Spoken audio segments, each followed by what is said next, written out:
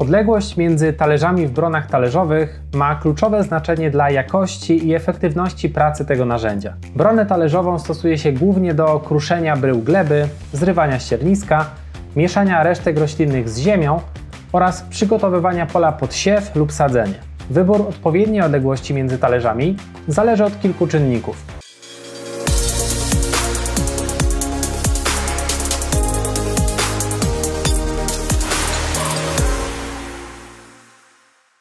Typ gleby. Na glebach cięższych, bardziej spoistych, talerze umieszczone bliżej siebie mogą skuteczniej kruszyć bryły gleby. W przypadku ziem lżejszych, większa odległość między elementami roboczymi może być skuteczniejsza. Zadanie. Jeśli celem jest głębsze przemieszanie gleby, wówczas talerze umieszczone dalej od siebie będą mniej podatne na zatory.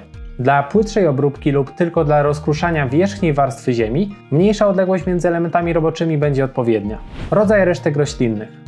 Przypadku obecności dużych ilości resztek roślinnych, talerze umieszczone dalej od siebie pomogą skutecznie je zmieszać z glebą. Resztki żniwne potrzebują więcej miejsca, aby nie doprowadzić do zapychania. Moc ciągnika.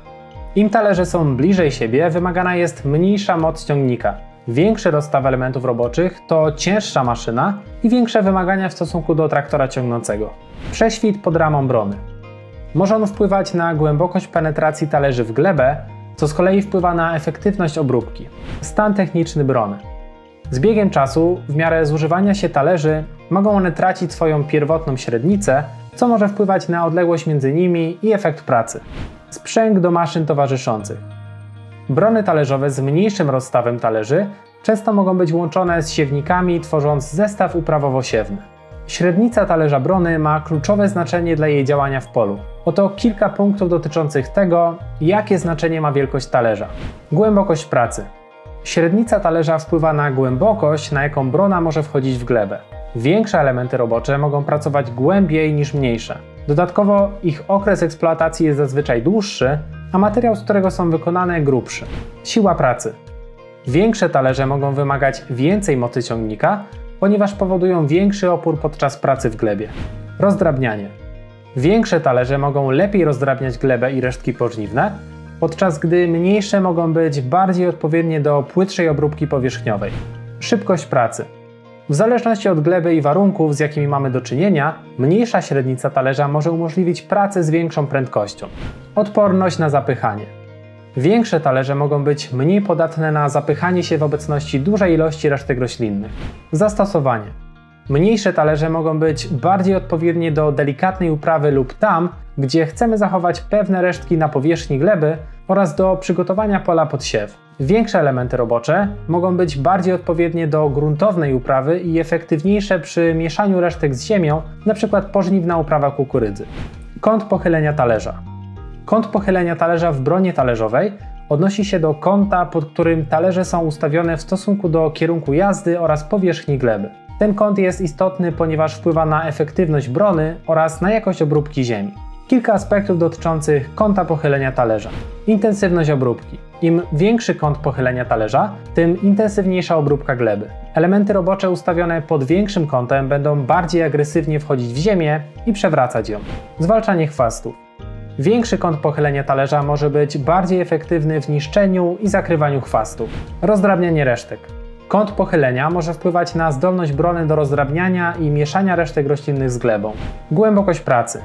Kąt pochylenia talerza wpływa na głębokość, na jaką wchodzą one w glebę. Większy kąt zazwyczaj oznacza płytszą pracę przy dobrych wynikach uprawowych, gdzie maszyna z mniejszym kątem natarcia musi pracować głębiej dla uzyskania podobnego efektu. Zapychanie brony. W pewnych warunkach, zwłaszcza przy dużej ilości resztek na powierzchni, większy kąt pochylenia talerza może zwiększać ryzyko zapychania się brony. Zużycie talerzy. Agresywne kąty pochylenia mogą prowadzić do szybszego zużycia talerzy, zwłaszcza w twardych warunkach glebowych. Przeznaczenie.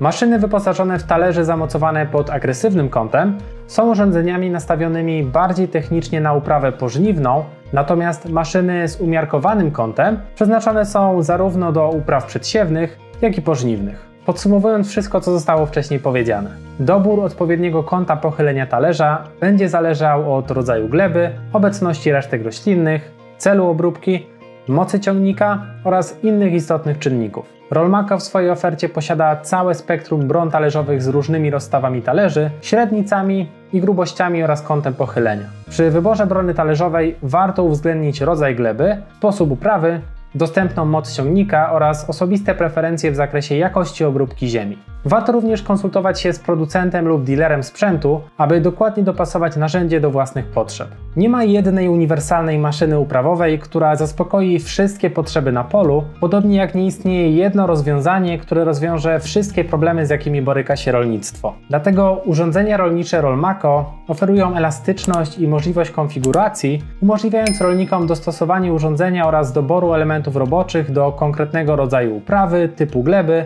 oraz oczekiwanego efektu. Nasze produkty są zaprojektowane z myślą o indywidualnych potrzebach i preferencjach każdego rolnika, aby zapewnić optymalne wyniki w pracy na roli. Jeśli chcesz dowiedzieć się więcej na temat różnorodnych elementów płużnych oraz ich zastosowania, zapraszamy do odwiedzenia strony rolmako.pl Working Elements. Znajdziesz tam szczegółowe informacje na temat różnych rodzajów elementów roboczych, ich kompatybilności z naszymi maszynami oraz ich potencjału w zakresie różnych technik uprawowych. Poznaj szeroki wybór możliwości, jakie oferuje Rolmako i wybierz rozwiązania idealnie dopasowane do Twoich potrzeb.